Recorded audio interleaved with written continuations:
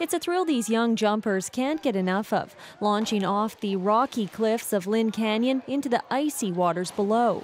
That's about it. A little bit of adrenaline, you know, safe, uh, safe fun, you know.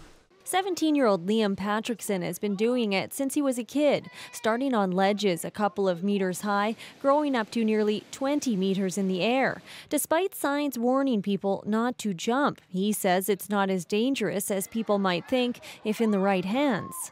I know what I can do and I know what's safe for me. So I'm not going to go above and beyond and do things I don't think are safe. I almost fell backward. Patrickson thinks the real issue isn't locals like him. He says tourists try to take on too much too fast. Sometimes you get tourists coming here who want to show off to their friends and jump the 60 footers right away, and you have to see there's a process. It's like skiing or biking. You don't just go do the double black diamonds. It's something officials on the North Shore are grappling with. Social media is popularizing a lot of local spots, making them a tourist destination. We find that a lot of people are coming to areas like this and they glorify it and they they, uh, they don't uh, accurately reflect the extent of the risks. And what they often does is you find a lot of other, uh, mostly younger folk who come in and, and wish to share that same experience.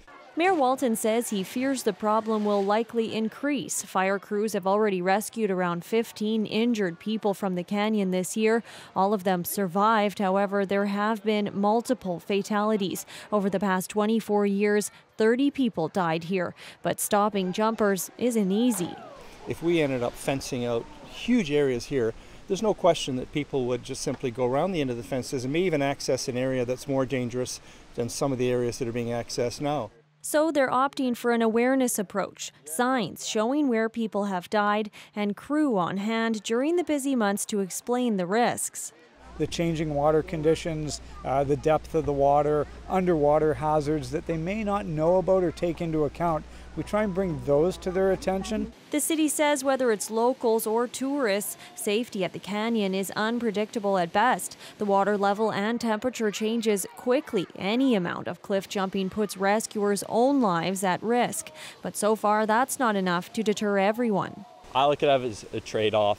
Uh, friends of mine do drugs and stuff, and I don't do that. I get this, but. Mickey Cowan, CBC News, Vancouver.